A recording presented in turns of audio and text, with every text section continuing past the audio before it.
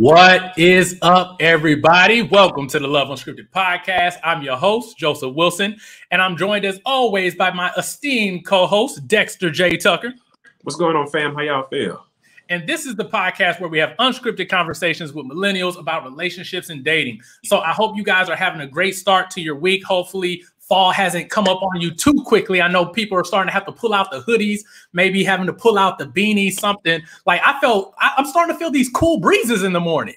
So it's a little shocking. So I don't know where you're at in the country. I know up north, a lot of people are probably already like, man, we've been had chill weather. But down here in the south, we are not used to it like that. And when it sneaks up on you, it, it, it sends them chills. So wherever you're at, I hope you're having a good start to your week.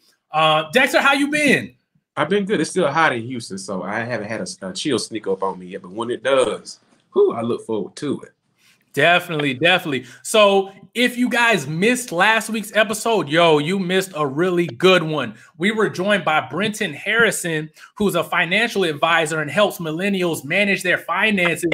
And we talked about what do you do when you and your partner have different spending habits and have different ideas about money. So we had a really dope conversation about what does money mean to certain people? And more importantly how you can actually have the conversation around money so that it does not deter your financial goals and it does not tear you and your partner apart. So if you haven't had a chance to listen to that one i'm okay. Go ahead. Stop. Pause this one. Go listen to that one. And that way you can be caught up. So dexter what's been going on in your world like what have you been seeing recently that's caught your mind or caught your eye as far as relationships recently? I like to check in with people because I think as we go on in life, we start to see different things. Have you seen anything different lately? I seen anything different lately. Whew. Outside of this war between men and women, outside of that, that's pretty much been it. The war of what do you bring to the table, going back and forth. That's the biggest thing I've seen. Mm-hmm. But but you know what's funny? I think we have been doing a good job of staying out of that and being yeah. in the space where we are very much like self improvement, mm-hmm. like self interest, like introspection has been our calling card. And I've started to get messages from people saying that, hey, we're using the podcast at our college and universities as a talking point, as in like a podcasting, what is it called? Like a book club, but it's with the podcast. And I'm like, yo, people are able to use this as a way to take in information and then dialogue about it. People are now having the conversation on the university level, which is crazy to me that something that started almost three years ago is now something, a tool that people are using and finding valuable, so much so that they're getting other people together and say, hey, let's talk about these episodes and see how they can um, in, improve our life and how we can go on this journey of love together. So we got like we know why you guys are here and we are here for great conversations and we're going to keep it up. So I have another really great guest. I've been super excited to have this person on. So let me go ahead and get them in here. All right, so go ahead and introduce yourself. Hey, what's going on, man? So happy to be here. I am Paul Bashea Williams. I'm a licensed clinical social worker, a psychotherapist, the, the author of Dear Future Wife, A Man's Guide and Woman's Reference to Healthy Relationships. I'm a speaker. Um, I'm a supervisor. I supervise clinicians. Um, I'm, I'm, married to the wonderful Tara Gates Williams. Always got to give her a shout out. And we co-own One Love Alliance, which is a, a movement, a ministry where we try to help people with their relationships, like real practical tools, like real stuff. No fluffy, no sugarcoating, but being real and, and being able to provide people practical tools to have healthy relationships. Man, I love it. If you guys are not aware of their movement, like I literally like I be sneaking into y'all clubhouses. the clubhouse they be lit. I, I love the like hearing you guys um, the dialogue. I think the dialogue between couples is so unique and so insightful because people don't always get to know what it's like on the inside. We know what people post on social media. Right. We know what's on Instagram but that's not always like what's going on behind closed doors. So if you once you guys, I poke, I poke, I look, I will post his information in the show notes, and you guys can definitely follow his movement. So we got some questions for you that are some get to know you. So as a therapist, one of the I guess practices that I strongly believe in is self care. So, okay. what are some things that you do for your self care routine that help you recharge when you feel like your spiritual, emotional, physical battery is going low?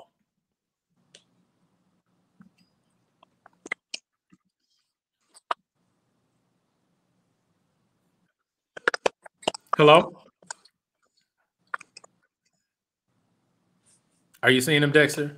Absolutely. That was so important because at the moment of burnout, I realized when I went my therapist, um, and he was telling me that I was exhausted. Can you hear me? So, so it looks like it's messing. Can you hear me? No, we can't. It's breaking up pretty bad. Can you hear me? It, it's breaking up really bad. Can y'all hear me? Hello? No, hold on. Can can you can you hear us? Yeah, I can hear him, but it's just breaking up real bad. Like he's he's frozen. that is. Uh, okay. Uh, Let me remove him and bring him back in. Hey, hey, Karen. What's your uh, Wi-Fi? Oh, okay. You have an iPhone, right?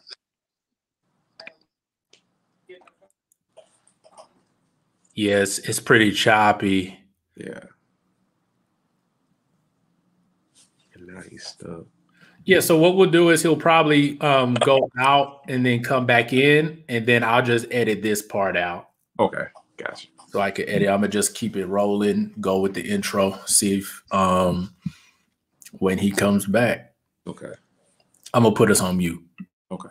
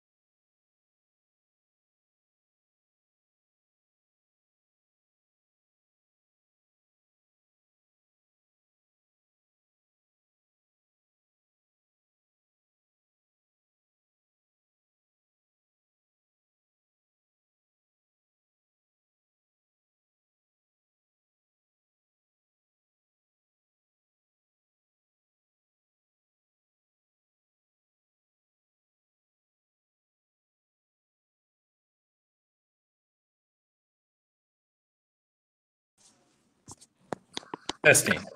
All right. Can you hear me? Yes, we yes. can hear you. Yeah. I don't know. We just had a wave and all Wi-Fi was just gone. So I don't know what just happened. Yo, technology is supposed to make things easier. Not harder. Right, right, right. All right. So what we'll do is we'll just redo it. Um, we're gonna start back from the beginning, and we're just gonna start back over. Okay. All right. Cool. We'll put you in the back chat.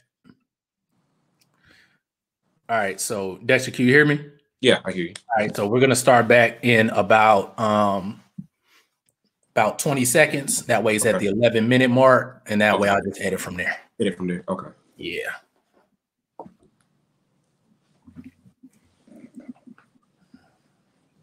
Ten seconds.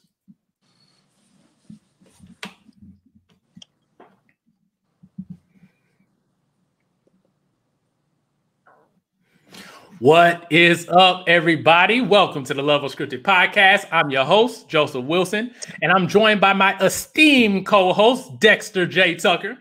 What's going on, fam? How y'all feel?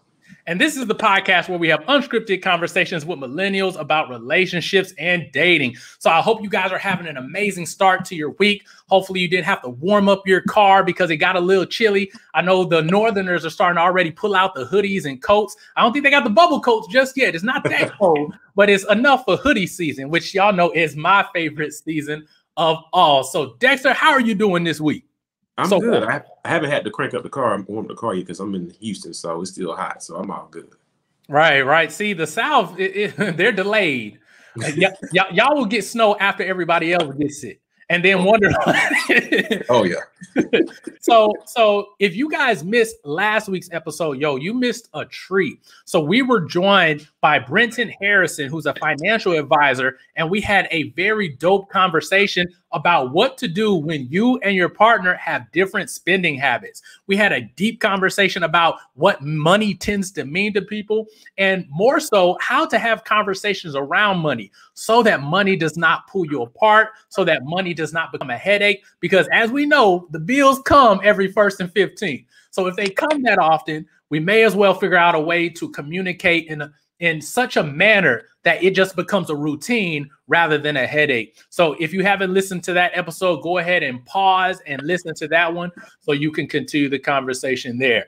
So we are going to keep these amazing, great, candid conversations flowing. And we have another great guest who's going to be joining us this week. So let me go ahead and get them in here.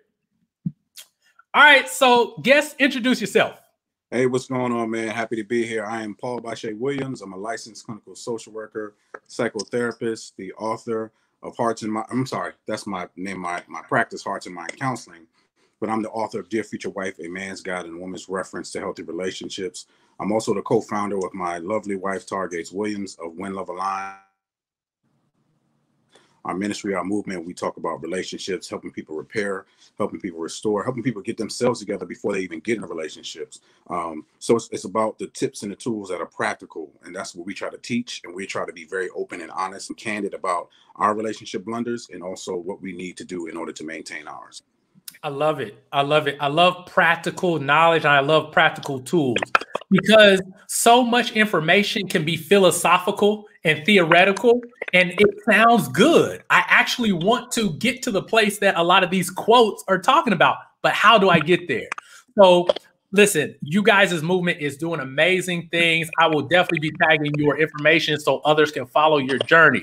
So, we are going to go ahead. Oh, hold on. I'm sorry. I, I, I got to say it. We have another therapist on the podcast. I'm, I'm, I'm just maybe I'm biased, maybe I'm partial to our view and our perspective, but I just really enjoy having clinicians who actually sit with people who get to hear the real conversation right. and then can also give tools and strategies that are not just our opinion. There's research and studies that back up the tools and strategies that we try to give people. So I just wanted to say that I had to put that out there. Um, yeah. so let's get to know our guests a little bit better. So, as a therapist, I'm always an advocate for self care. I think it's extremely important for people not to just have self care acts, but have self care routines and self care practices. So, for you, what is something that you do that helps recharge you mentally, physically, spiritually when your battery starts to get a little low? So the biggest thing, I, well, I'm gonna give you a couple of different things I do. So Mondays in general, as Monday is my self care day. So everything is shut down on Monday. I get to do whatever I need to do, whatever I want to do, if I want to stay in the bed until one o'clock, I'll stay in the bed until one o'clock. With the, my my wife says I'm still sitting in the hotel. The, the shades are closed. I got the movies. Like if I want to get up at, and I'll even say this: if I, if I want to have a mimosa on a, at eleven o'clock or nine a.m. on a Monday, that's my day. I get to do whatever I need because I need to recharge. I need to recalibrate. I need to be able to show up for Tuesday, Wednesday, Thursday, the rest of the week as a husband, as a father, as a clinician, as a friend, as a brother, as a son, all those different things. Monday is my day to do whatever I need. Um, and that's just something simple. The other thing I do is my phone goes on goes on do not disturb at eight o'clock. Nobody has access to me. Nobody really. I don't. I don't think anybody really needs me after eight o'clock. Like, and I don't want any client calls or, or business opportunities or whatever that is. Eight o'clock, I need to shut down because I need to get rid of the day. So I do that that brain dump. I do whatever I need to do at eight o'clock, and that that set a boundary. And it's on my answer machine as well. The Monday is on my answer machine, and so is the eight o'clock on my answer machine. So people aren't wrestling with me; they're wrestling with my voicemail. They're wrestling with my boundary, and that's oh. it. And I don't take it personal. Oh, I love it. I love it. Oh, yeah. You not only have your own self care day, but you set up parameters to make sure that it's enforced. That's great because there are going to people who they, they don't care that you're trying to practice self care. They will try to contact you. Hey, Q, help me with this. I need some advice on this. I need this. It putting up that boundary protects you in your mental state. I love it. So, question number two our audience loves food. They're big foodies. We can try to put food in any conversation we have if we wanted to. So, are you more of a hole in the wall uh, kind of person, or do you like five star fine dining when it comes to your food selection? I'm not. I'm not in part. I'm not partial to it. Like I will go anywhere. Like I, I grew up in the hood, so I'm used to that. You know, and I had my struggle meals when I didn't have money, so I can't act like I can't eat. You know, know the hole in the walls, whatever. And sometimes they have so many good flavors in there, right? When they don't change the grease, right? You you got you got this you got the chicken and the fish with the same grease. You know, those joints are good. But I love me a, a fine restaurant with a good steak, um, with some, you know, Brussels with with the bacon in it or some, you know, caviar, whatever it is. I like to treat myself to that too. That's part of my self-care just going to a fine restaurant. And before I was married, I would take myself out there and just go by myself and just enjoy the experience. Got you, got you. So, question three. This may be a tough one, um, I'm, and I'm not trying to get you in trouble in any kind of way. So, we're, we're I've been having this conversation with a couple of my friends, and here's the question: If your partner is watching a Netflix series with you, and they do not initiate to watch the show for upwards of three days, and you're binging a series, is it okay to go ahead and continue the series if they have not mentioned it, have not told you to hold on, have not told you, let's schedule a date to catch back up? Is it wrong to go ahead and watch the show anyway? Well, I'm to tell you this. This is what my wife does. She doesn't wait. Three days is, is a long time if you don't mention it the next day, she's already on episode 13 and we're supposed to be on episode two. So I kind of just give up and watching my own stuff. So, you know, it, it really depends. I mean, it's, it's technically wrong we're watching it together, but you know, she I, I just got my head out of that. She's on again, there's so many different series that we're supposed to be watching together. She already finished. And she'll wow. say, I, ain't have, I don't have time to wait for y'all. Like that's what she says to the house. It, it's funny that I don't even want to watch. It'd be something that she wants to watch. She brings me in, and then I'm forced, and then finally I get settled in watching it, and then she'll watch the whole thing. See, these are the things that I'm talking about that no one really talks about. The right. show that you didn't really want to watch, but you got dragged into it, and so now you're like, yeah, that's a whole nother thing. So thank you for being willing to share some of that information with us. Hopefully, our guests get to know you a little bit better. But we're going to go ahead and jump straight into the topic. And I think it's right in alignment with something that you said as far as preparing uh, for that next relationship. So I'm going to set it up this way. One of my favorite things to do is travel. I love to get out and see new sites. I love to go see museums. I love to try new foods as a child, I used to really enjoy when I used to go visit my dad for the summer, and he would let me know beforehand that we are planning on taking a trip somewhere else. Now, the idea of the trip was really fun. It was really exciting. I was super hyped. But the problem is, he would tell me about this trip in January, but it wasn't until July. So as a result, I had a destination in mind, right. but I was stuck living out every single day waiting for it to get here. It felt like torture. It almost got to the point sometimes where it's like, you know what? It's so far away. I don't even care if we go or not. The excitement that I once had is now gone. And I think a lot of people, while they're waiting for a relationship, are struggling with that time in between where they actually get to the relationship and where they currently are. Yeah. So let's start right here. So, and, and, and we'll start with you, Paul. So, why do you think some people are so in a rush to get into a relationship? I think a lot of people don't like spending alone time with themselves. Some people struggle with that, and some people are looking for something to fill a void when they need to be concentrating and working on themselves. So if I'm if I have like and I say dating from a deficit. So at, at one point I felt like I was dating from a deficit. I wanted to uh, I guess travel a lot, but I didn't have maybe the means. And so maybe I dated someone who's in the travel industry industry that made it easier, right? So I want to do these different things. So I'm dating to what I don't have. And what I encourage people to do is try to find ways to really enjoy the time that you have because right now you're not at a destination, you're just at a position. You're in a position, and singleness is a position, right? And so you talked about going out to eat, right? I, what do I really like without the distraction of somebody else? What do I like about the ambiance? What do I like about getting there? Am I paying attention to the steps and really enjoying the different things that I'm doing to get to that particular destination? Because we can jump into a relationship and not necessarily be ready for it because we don't know what we like. And we're telling somebody we like this thing and they're giving it to us, but we don't really like it because we haven't spent time with it. And and you know what's funny about that? One of the top questions that people tend to argue about is the man will say, Hey, what do you want to eat? And the woman will say, Well, I don't know what to eat. And I was just thinking, if everybody took time to actually know what it is they like to eat or the types of foods, then the woman could also could offer suggestions about what she may want to eat, but the guy doesn't have to be stuck with, well, I don't know either. Because sometimes I be doing that. I'll be like, well, I'm gonna put it on you, and I don't have any idea of what it is. I'm just like, well, maybe if everyone took time to really know at least what type of food you want, uh, that could be some information that you gained during your singleness. Dexter, why do you think some people uh, are in a rush to get into a relationship? I think a lot of times that people are in a rush to get in a relationship because they they fear waiting. A lot of people, like you think about it, like you, when some people when they're sitting in a fast food line, if they have to wait more than five minutes for their food, they're upset. And a lot of it's from the perspective of where you are, and not the perspective of, of, where you're actually going and what actually has to has to be done to get the result that you want.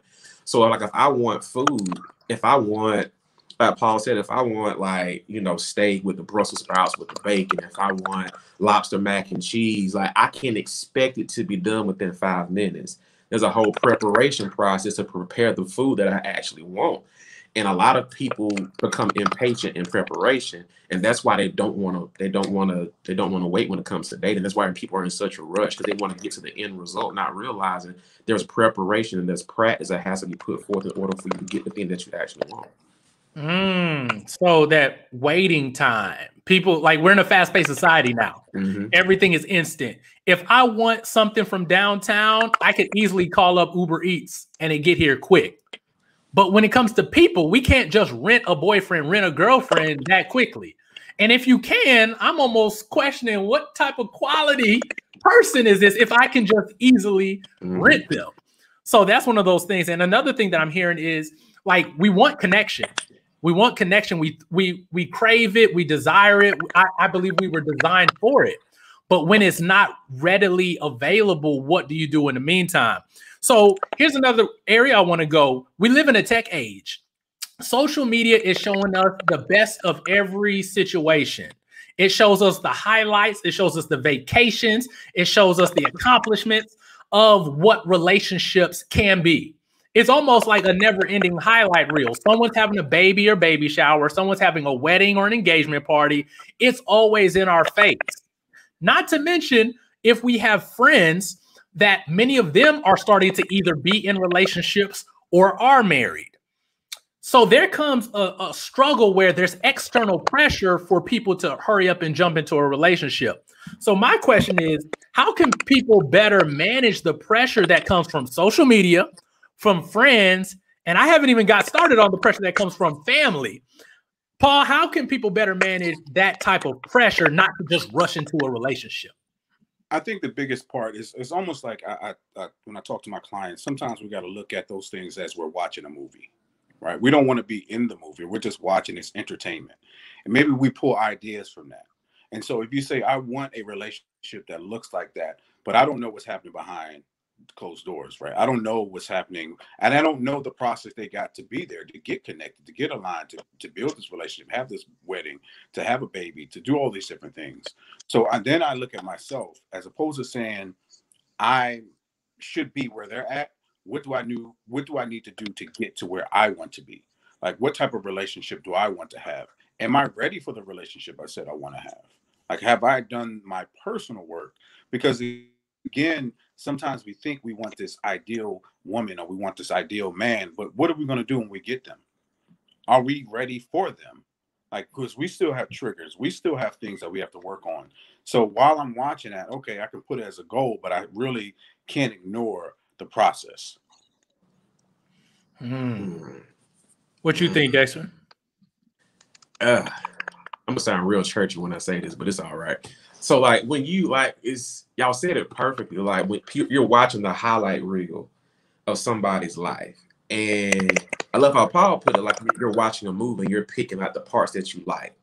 But you know, whenever you used to, you know, buy a DVD because everything's digital now. So like if you buy a movie on Apple or Prime Video or wherever you may buy a movie from, like whenever you buy the movie, there's always the behind the scenes footage you can always see because when you see the behind the scenes footage of how the movie's actually made, sometimes the behind the scenes footage is longer than the actual movie itself. Because now you're seeing how people have to do table reads, how they have to find the right actors, how they have to shoot different scenes and have to shoot that one scene that you like. That was a two minute scene. They shot it over the course of six months. Like a lot of us don't know what actually goes into making a relationship work. Like you don't know what it takes to plan a wedding. Like you may have, like for me, before I got married, like I had a Pinterest board of what I wanted to wear as a as a you know as a groom, but I didn't realize what went into actually planning a wedding. I didn't understand the stresses that come from it, the the financial strain that comes from it. I had an idea, but I really had no idea until I was actually in it and understood what I was doing. And a lot of us we get caught up in the in the fluff of it all, of the beat of the of the surface level beauty of it all, but we don't see the we don't understand the ugliness that comes out of the beauty of that thing. And here's another thing. I wish people, if they knew what really went on to build a really strong and healthy relationship, people would be slower to jump into them so quickly. So mm-hmm. one of the things that when me and my wife were in Spain, you know, everyone's taking pictures. We saw a couple who were literally sitting there arguing back and forth. She was like, "Stand here, take it like this, do this, do that." All of this stuff, so much so, but that my wife was like, let me take the picture for you. And she took it. Listen, it was probably a bomb picture, but nobody is going to know the fight that happened before they took the picture. No one's to know that that happened. But people are in a rush to get in the position to take the picture without realizing y'all may f- listen. There's a reason why me and Allison don't post too many pictures together. we be like this. What are you doing? Take it right. Like there's a reason. Like people probably wonder, like, are y'all still together? Yes, we just ain't taking pictures together. so but I think if you know, it's interesting. People want that picture all the time. So they get in a mm. relationship and they're expecting that highlight all the time. And then when a disconnect comes, they think, you know what? This is not what I thought it was and then they go and look for another highlight. And so they're jumping from relationship to relationship and falling in love with that honeymoon phase. Like they're honeymooners, constantly mm. jumping into relations. That's a, I mean, that's love addiction, right? So I'm only excited about the, the, the good parts. But when something comes up that is it, it causes some type of disconnect, I'm ready to relieve the lead the relationship and jump to the next honeymoon phase. Mm, it's like chasing that next high. Like, and, and here's another thing that I really try to explain people clinically. Like, you your body, your nervous system can't live at that all-time high for an extended period of time. Like you can't do it. It's not physically possible. It's almost similar to like what what what would happen to you is similar to what happens to drug addicts. Like they are always trying to get higher and higher, and their nervous system becomes desensitized at some point to it. It's crazy how that happens. So here, let's let's transition to this because I want to like really talk about like the wait. So here, here's my question, Paul. What are some things that people can actually do while they're in that waiting phase between relationships? What are some practical things that they can do? Of course, I think you know I'm an advocate for therapy. You know, you you get to know some things, you get to know your blind spots, you get to know your triggers, know how to manage them, know your feelings, your thoughts, everything. Um, that's one. I think again, travel. You mentioned travel. I didn't realize how to really travel until I traveled by myself. When I once I took trips by myself, I really got to spend some time with myself, and I know that I didn't have the distraction of another person. So if you want to learn different trades and stuff like that, I, I, I learned how to cook better by myself. So now I can present that to whoever I'm with, right?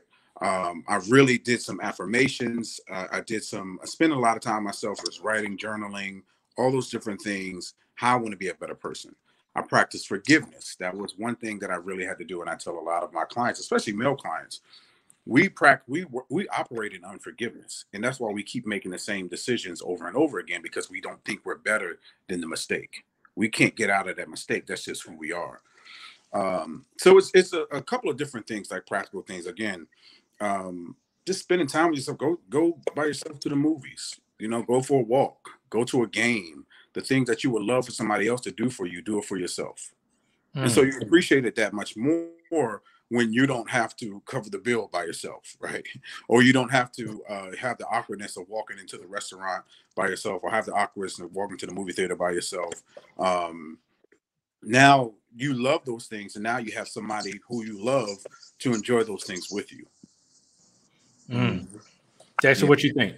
Yeah, because that's the that's the thing that I did. You know, before you know, before I met my wife, like we like we were both like doing our own thing. Like we talked about it as we were like dating, and I would tell her like I would go. I went to the movies by myself.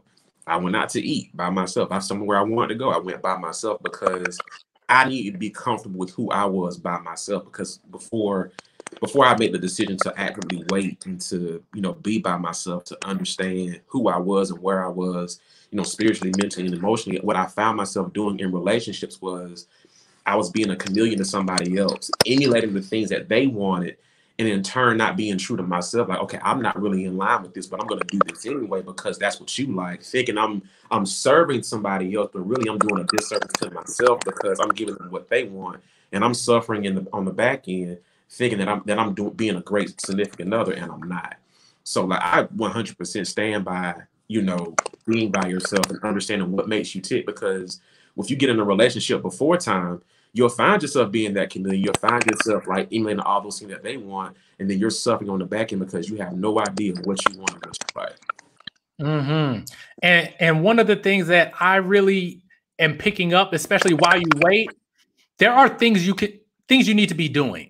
It's not just a sitting around waiting, wishing and hoping for someone to come along, but it's actually a time where you get to develop yourself. I really don't think enough people take time to develop themselves mentally, physically, spiritually during this time. I know for me, I'm I'm a big advocate for people to if you've been in multiple bad relationship after bad relationship didn't work, you need to take a break. Like you got to stop, pause, put a halt on it for an extended period of time. For one, I had to I had to unlearn all the bad relational habits that I was constantly practicing. There was something I was doing that wasn't working. Mm-hmm. But you have to give yourself time to build new habits. There's no way to do that if you're going from one relationship to the next, just hoping that, okay, I'm going to do the same thing and get a different result. And one of the main things that I had to do was unlearn some of the beliefs that I had about relationships. Unlearning the beliefs changed my actions. And think about it, like my my father has been married multiple times. My mom has been married multiple times. I did not have a very congruent or a very positive view of what relationships were supposed to be like. And as a result, they were I was acting on a lot of these thought processes that were subconscious. So I think when you're waiting, do these things where you get to rediscover yourself but also figure out what is it that I need to change? What are some things I need to do differently? And sometimes doing that by yourself can can give you more information than trying to do it on the job. That's what I like. I, a lot of people try to wait until they're in a relationship to start trying to practice how they communicate. No, practice communicating when you go to the movie theater. Ask the person uh, to what give them your order and if they get it wrong kindly let them know again. There's obviously some miscommunication. No excuse me i wanted my popcorn without butter. You actually put it with butter. Can i please get it? That's practicing communication skills that directly translate into a relationship. And so i think those are things that we can be doing while we're waiting. So i have another question. A lot of people have fomo which is fear of missing out what are some ways that we can address that feeling that, oh man, everybody else is experiencing love, joy, happiness, and I'm not? Paul, how can people better address that FOMO when it comes to relationships? I think first, um, I mean, the, the bottom line is finding that for yourself. Like, how can I give that to me? The other thing is, I think people really skip over, really don't pay attention to is circle like your circle of friends provide a level of love and joy and support that you may need right? And i'm not dependent solely on a partner to give me all those things. I have my true honest genuine uh, friendships with integrity with boundaries. Where we haven't crossed anything. There's no romantic uh, connections to them but a genuine friendship because we learn how to communicate. We learn how to connect with our friends. And while i'm not having that partner yet I do have a tribe. I do have connection, um, and to relying on that. And so when you're thinking about, uh, I wish I had love. I have somebody I can talk to about that. Like I, I wish I had this type of love. I have a, a friend that we can go hang out. We're like, yo, let's go get some drinks, or let's go get something to eat, or whatever that is. Let's go take a, a fellas trip, or let's take, take a ladies trip, or something like that, and just bond together. So we can hold each other accountable before we just jump in another relationship thinking that that will solve all the problems. And the next thing you know, six months later, I'm back on your couch, upset, I'm angry, and I'm, I'm going back in the cycle. Hmm. FOMO, Dexter. what you got? FOMO. I mean, uh, the best way I can put it is perspective. Perspective is one of the chemical agents when it comes to fear, because a lot of people, a lot of us have this detrimental like perspective when it comes to the fear of missing out. And when reality, we're not missing out on, anything because when you understand where you are for yourself and understand like the perspective of what you really have around you, your perspective shifts and it changes. So it's like Paul said, when you look at your life and you see like the people that are actually around you, you're able to assess that friendship circle. You can see like, oh, I have this kind of friend that does this, this friend that does this. I have this kind of tribe surrounding me. I have these kind of family members surrounding me. But that's something that I had to do. You know, realize like the kind of people I had around me. Like I had you know, parents that were, you know, pushing me in the way I was trying to go as far as my career. I had a loving grandmother, I had my grandfather, I had, you know, my college friends who were like there for me. Like if I needed anything, I could call them and talk to them, which I did. And I used that in that time of being of being by myself and understood that, you know, who Dexter was by himself was I was okay. So I mean, don't get me wrong. You know, we're not supposed to be alone. You know, I mean, having that desire for being for being with someone and being a significant other and having companionship, there was nothing wrong with that. But I didn't. I understood that I didn't need to make that my idol. I needed to make that a goal, but I didn't need to make it my idol. And once I understood that, I understood that I wasn't missing out on anything. That I was just in preparation for the next stage of my life. you you want to know what's funny? FOMO bites me every time I think about getting a new iPhone. So, so I tend to watch a lot of tech blogs, and they're always talking about how good and how great this next iPhone is going to be. The performance, the cameras, like none we've ever seen. And then I will like, you know what? I should, I should, and then I rush to go get it, and I'm like, man, this ain't what they were selling it to be. And it, it, it got me so bad one year that I was like, you know what? Whatever phone I got is the phone I'm going to rock with. I'm going to wait until there's something that I know for sure is is is better and is out there, and I'm going to try to reach it. So we're going to go ahead and transition into our last segment of the show, which is our flip the script. And flip the script is the segment of the show where our guests provide a simple tool or strategy to address a specific challenge or situation that we discussed in the episode. So, Paul, you ready? Yep. Someone may be out there listening and they're like, you know what? I have been very impatient while I've been waiting. I've been a little antsy. Um, I've gotten into some relationships I probably shouldn't have. And I think it's because I feel like I'm running out of time. What can people do to remind themselves that they can be patient on their waiting journey and that they indeed are not running out of time like they may think? I think the first thing is ask yourself if those relationships that fail, let's let's do some self-evaluation. Let's put them, you can you can put the other person in there, but ask yourself, were you ready for that relationship? And so if you would think that you were in that relationship and you were just everything would have worked out and how bad it was that it got to the end, remember that part. So while you're waiting and while you're working, remind yourself that you're in a position, you're not at the destination. So when you're afraid of time running out, time doesn't run out. Like when you find the person, your person, they'll find you at the same time because you're doing the work that you need to do. So you're in position to receive what you need. And maybe back then you weren't in position to receive what you need. Or maybe if you did, you might have fumbled it. So know that all those things, you never wasted any time with any other relationships. You just learned about you. You learned about them and you learned what you wanted. And so now you're continuously working to the point to be in the relationship that you need. All right. And there you guys have it. Paul, thank you for joining us this week. No problem, man. My pleasure. So let everybody know where they can find you on the internet and social media. So you can find me at Bashea Williams on everything. My Facebook, Bashea Williams. My Instagram is Bashea Williams. Win Love Alliance is we, we, and my wife, my wife and I.